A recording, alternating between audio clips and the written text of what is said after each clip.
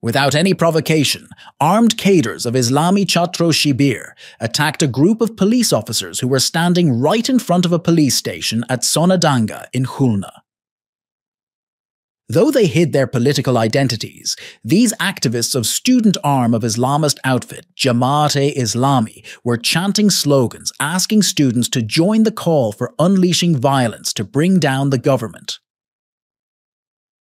Unlike any non-violent general students, these cadres were armed and threw brick chunks, while police did not resort to any retaliatory measures. As live streamed on Facebook, this video shows, in the name of exercising right to protest, these cadres disguised as non-political students attacked police officers from a procession. In the video, several Shibir cadres directly echoed the call of Jamaat leaders for upstaging the government, a political demand raised by BNP and Jamaat simultaneously. To instigate masses, they also used provocative slurs, Running out of student support, they also sought cooperation of general students, but rejected outright.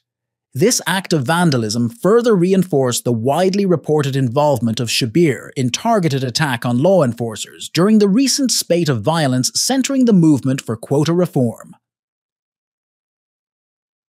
Several police officers were brutally beaten to death in last week, and over hundreds were injured, Shibir earned the tag of third most active non-state armed groups in the world, according to US Index, while the outfit introduced the culture of severing tendons of the students opposed to the radical values on campuses.